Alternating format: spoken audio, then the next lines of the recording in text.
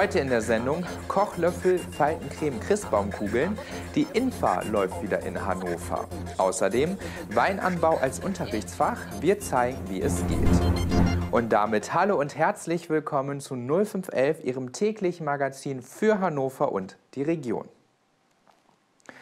Shoppen, bis der Arzt kommt. Die Erlebnis- und Einkaufsmesse Infa findet derzeit wieder auf dem Messegelände statt und lässt nahezu keine KonsumentInnenwünsche offen. Ob Silikonspülbürste, Wildschweinwurst oder Gartenschere, auf der Infa sind allerlei Konsumgüter zu finden. Larissa Peters hat sich dem Kaufrausch hingegeben. Die Infa, ein Shopping-Erlebnis der Extraklasse. In den 50er Jahren noch bekannt als Hausfrauenausstellung, wird sie heute als Erlebnis- und Einkaufsmesse vermarktet. Projektleiterin Claudia Kohl verrät, für wen die Messe heute ist.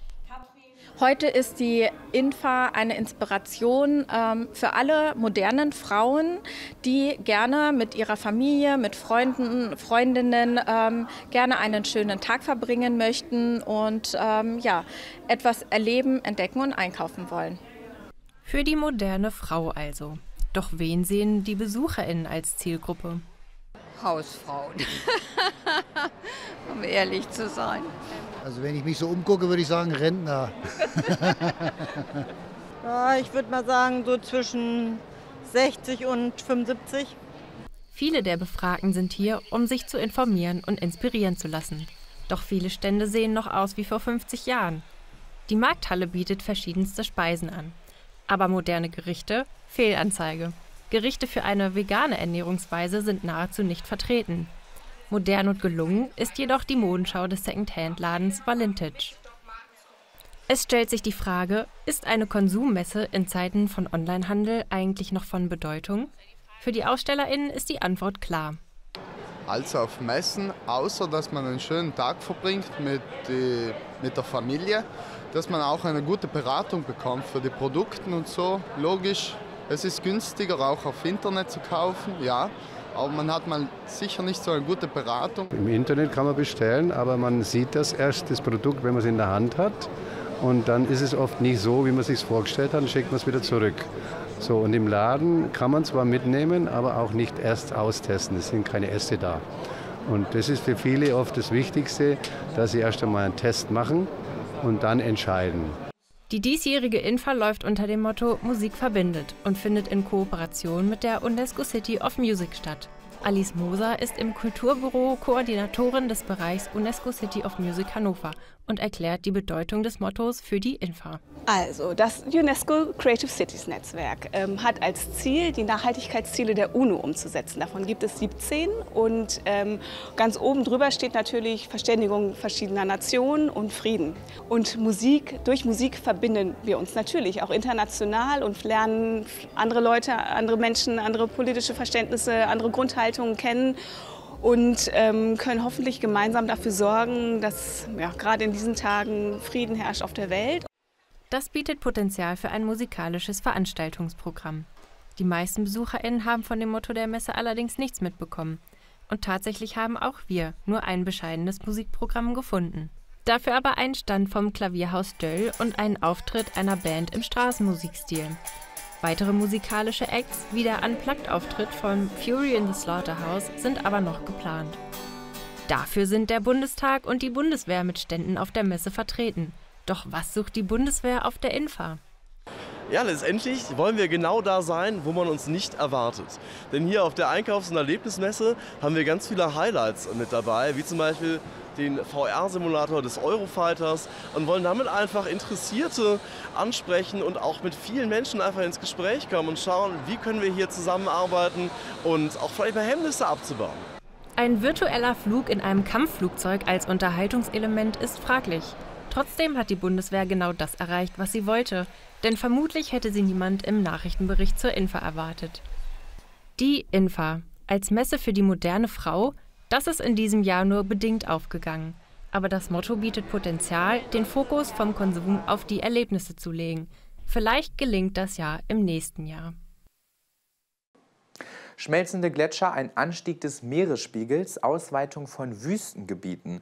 Die Folgen des Klimawandels sind schon jetzt zu sehen und sie werden in Zukunft noch deutlicher zu beobachten sein. Doch nicht nur auf die Natur wirkt sich die Erderwärmung aus, auch auf unseren Körper. Welche Auswirkungen genau der Klimawandel auf den menschlichen Organismus hat, darüber hat mein Kollege Ben Lehmann mit dem Pneumologen der MHH Dr. Lukas Greimann gesprochen. Ja, Herr Dr. Greimann, vielen Dank, dass Sie Zeit haben und mir kurz über Klimawandel, die Auswirkungen auf den menschlichen Körper, aber auch über Smog äh, und damit die Belastung auf die Lunge zu sprechen. Sehr gern, sehr gern. Ich habe es gerade schon erwähnt, Smog ist ein Begriff, den wahrscheinlich viele schon gehört haben und viele haben auch schon die Bilder gesehen von Smogglocken, die über einigen Städten hängen. Was genau, was genau ist der Bestandteil von Smog und wie, wie entsteht er? Smog hat ähm, enorm viele Bestandteile. Ich würde es mal versuchen zusammenzufassen. Wichtige Bestandteile von Smog sind Stäube. Die können aus verschiedenen Sachen kommen. Die können aus dem Bereich Verkehr kommen, die können aus der Industrie kommen. Es gibt auch einen natürlichen Hintergrund. Ähm, dann gibt es einige chemische Stoffe, die in der Luft sind. Das hat vor allem so Schwefelverbindungen. Das ist, kennt man vielleicht Ozon. Ähm, das sind auch so Stickstoffverbindungen. Das heißt, das sind alles, die ebenfalls auch eigentlich aus den ähnlichen Bereichen wie eben schon genannt, Industrie, Verkehr kommen. Und äh, man konzentriert sich natürlich, wenn man den Smog untersucht, auf die, die besonders große biologische Auswirkungen haben, also die für uns Menschen oder auch Tiere in irgendeiner Form relevant sind. Und inwiefern stellt Smog dann eine Belastung für die Lunge dar? Smog stellt, äh, ich sag mal, in zwei Formen eine Belastung durch, für die Lunge dar. Es gibt es ganz ähm, akut, das ist heutzutage selten geworden. Das gibt es noch, das gab es so als in der Diskussion über die Olympischen Spiele mal äh, 2008, wo noch so wirklich smogbelastete Städte auch Austragungsort waren. Das kennen wir eigentlich in Deutschland wenig, dass es wirklich diese akute Smoggefahr gibt.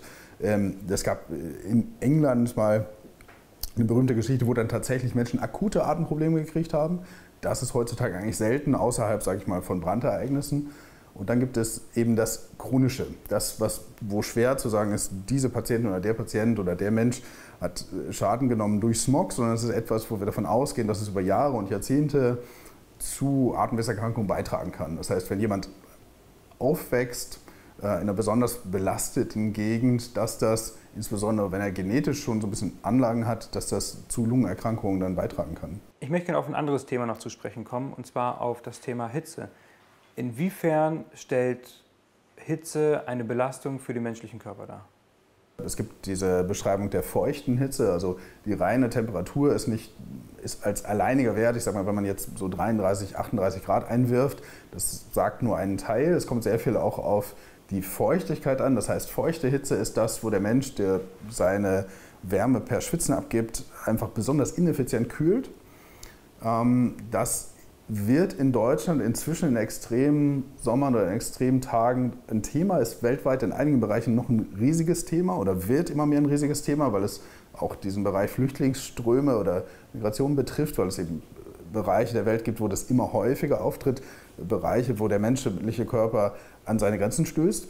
Und es stoßen natürlich immer die an ihre Grenzen, die am schwächsten sind. Bedeutet, ähm, ältere Menschen, kranke Menschen, Menschen, Kinder tatsächlich auch, aber auch Menschen in der Obdachlosigkeit zum Beispiel, die keinen Schutz suchen können, die sind dann besonders gefährdet, dass der Hitze, tatsächlich ein Hitzestress nennt man das, einsetzt.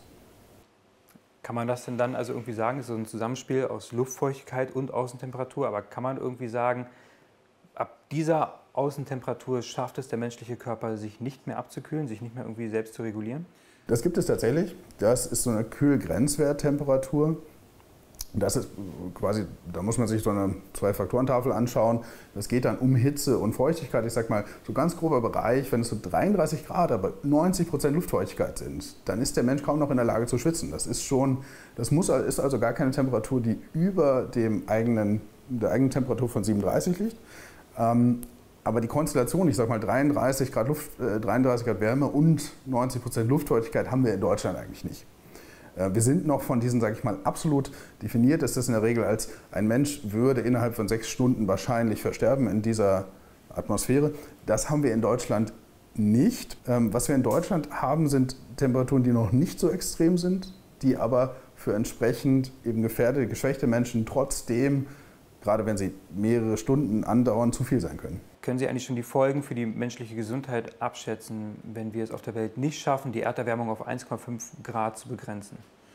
Also was mich besonders äh, beeindruckt, sind da eher Dinge wie massive Migrationsströme, einfach Hungersnöte, daraus entstehender auch ähm, Druck sozusagen auf, auf Kriegsgeschehen. Ich denke, dass wir als entwickelte Gesellschaft auch eine hohe Anpassungsfähigkeit haben. Also dass wir in Deutschland erstmal nicht von diesen absoluten Extremen zumindest zum Teil so betroffen sind wie andere Regionen der Welt und dass wir einfach technologisch eine bessere Anpassungsmöglichkeit haben. Deswegen, ja, ich denke, dass es enorme auch gesundheitliche Auswirkungen haben wird, ähm, aber dass wir eher die Chance haben, da moderierend und anpassend zu, zu, ja, darauf einzugehen. Vielen, vielen Dank. Ja, sehr gern. Super. Weinanbau an der Schule, das geht. Und dazu noch als Unterrichtsfach. Doch zunächst geht es nur um Traubensaft. Wein dürfen die SchülerInnen erst ab der 11. Klasse keltern. Wie genau eine Schule in Brandenburg das Unterrichtsfach Weinanbau gestaltet, zeigt Ihnen Matthias Kindler. Das Domgymnasium in Brandenburg an der Havel. Es ist Erntezeit auf dem Schulhof. Die Traube Solaris ist reif und mit geübten Griffen schneiden die Schülerinnen und Schüler Traube um Traube aus den Reben. In der Schule gibt es ein verpflichtendes Unterrichtsfach für alle Schülerinnen und Schüler, das heißt Weinbau. Das heißt, die Schülerinnen und Schüler lernen in der Schulzeit, wie man Wein anbaut. Das machen wir hier auf unserem schuleigenen Weinberg, der direkt hier an unserer Schule ist und noch auf einem Weinberg, der noch drei Kilometer von der Schule entfernt ist. Und die Schüler lernen alle Schritte, die nötig sind, um Wein richtig anzubauen und zu verarbeiten. 2014 ging es los. Fernab der klassischen Anbaugebiete wurden 300 Rebstöcke gepflanzt. 1800 kommen noch hinzu auf einem zweiten Berg. Solaris ist dabei nur eine von mehreren Sorten.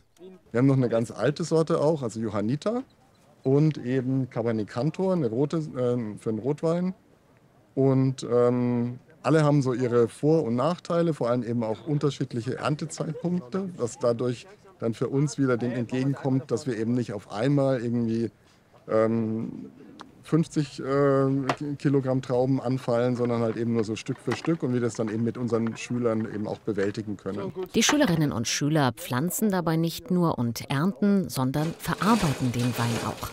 In den achten Klassen stellen sie Traubensaft her und ab der 11. Klasse dann tatsächlich auch Wein. Circa 100 Liter Wein kommen so zusammen und werden auch verkauft. Ähm, unsere Hauptklientel, sage ich jetzt mal, unsere Kundschaft sind natürlich erstmal die Eltern der Schülerinnen und Schüler. Aber ähm, nicht nur. Also es spricht sich rum, dass es hier eben weinbauliche Aktivitäten gibt am Domgymnasium. Und das kommt sehr gut an. Also die Eltern finden das Projekt sehr gut und ähm, wir haben also auch einmal im Jahr ein Weinbergfest. Also dieses Projekt ist wichtig für die Schülerinnen und Schüler, weil sie lernen, nachhaltig zu arbeiten und Dinge mit den eigenen Händen zu produzieren. Und für die Schule ist es genau derselbe Anspruch. Wir wollen, dass die Schülerinnen und Schüler verstehen, wie Dinge entstehen, wo Dinge herkommen und wie zum Beispiel unsere Lebensmittel verarbeitet werden, entstehen können. Wir kombinieren eigentlich immer die praktische Arbeit hier am Weinberg mit einem theoretischen Background, Information ähm, aus dem, sag jetzt mal, aus den Bereichen Biologie, Chemie, Bodenkunde. Schon cool. Ähm, ja, ich glaube, nicht jede Schule hat einen Weinberg so neben der Schule zu stehen. Und das Schönste ist natürlich, den selbstproduzierten Saft auch zu probieren. Schmeckt gefühlt schon wieder anders. Echt? Ja. ja. Hier, probier. Warte. Gar nicht?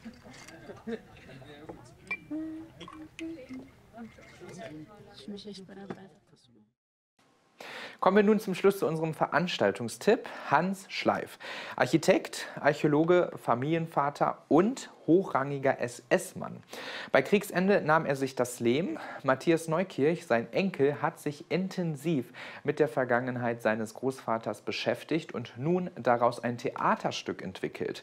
Dieses können Sie sich am 22. Oktober um 14 Uhr in der Gedenkstätte Ahlem ansehen. Der Eintritt ist frei. Und das war's auch schon wieder mit 0511. Wir sind morgen um 18.45 Uhr wieder für Sie da. Bis dahin, machen Sie es gut. Tschüss.